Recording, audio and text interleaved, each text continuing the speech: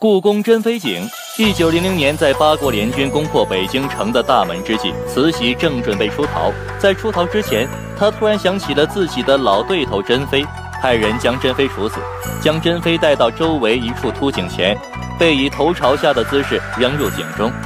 为了确保珍妃能够最终死亡，做到万无一失，又找了一块石头扔了进去，让珍妃完全没有了生还希望。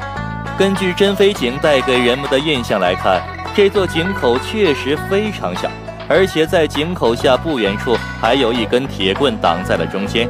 让人相信珍妃井中塞不进去多大的东西。其实皇家为了颜面，把这口凸井封上了，后来又在附近重打了一口井，这并不是什么真正的珍妃井。真正的珍妃井原本是要比这个井口大得多的。